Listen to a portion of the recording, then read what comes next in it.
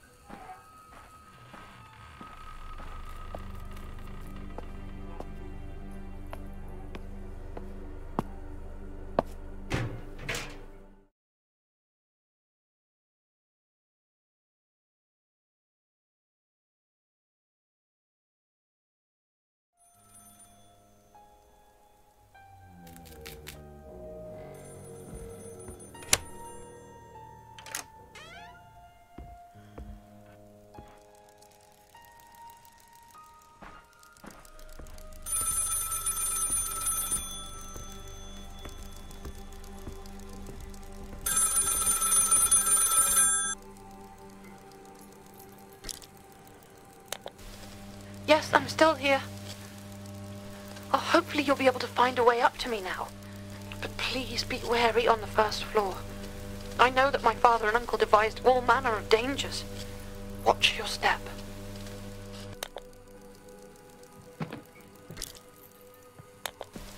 It's mainly guest rooms on that floor. The library too, and my father's snug. I'm not sure. Perhaps the library.